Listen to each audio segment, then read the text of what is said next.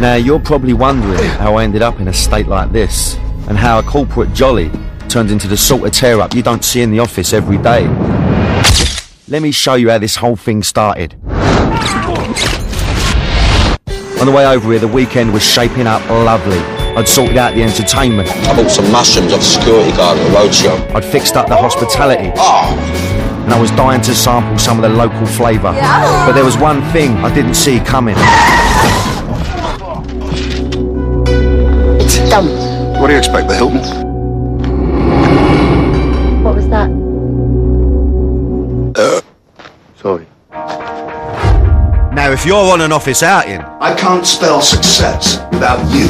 there's some advice I'd like to give you. English birds ain't complicated. You buy my Bacardi breezer and then why'd you like Seabiscuit? Beware of the chop.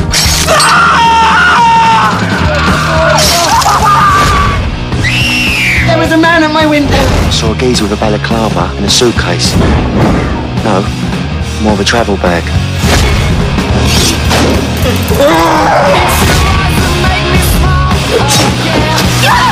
What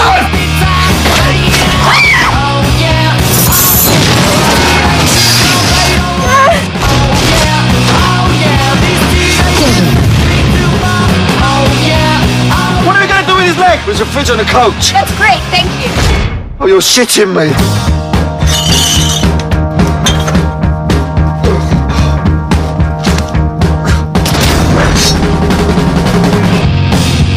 Shit, I've left Gordon's foot on the coach. Sorry, mate.